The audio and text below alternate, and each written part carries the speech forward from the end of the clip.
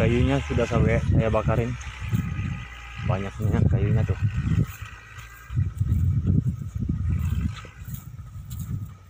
Aduh wah.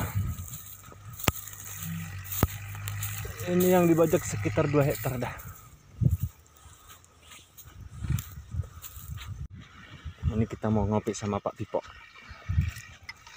Kopi jangkat. Enak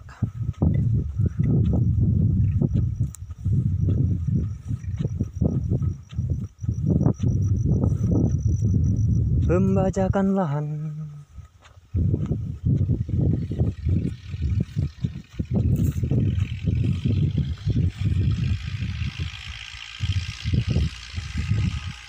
Sore ya.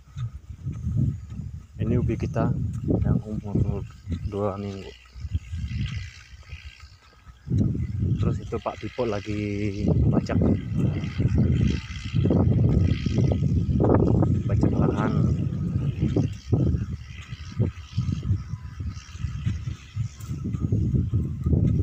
bagus.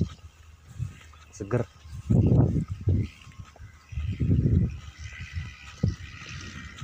Dekat Gunung Masurai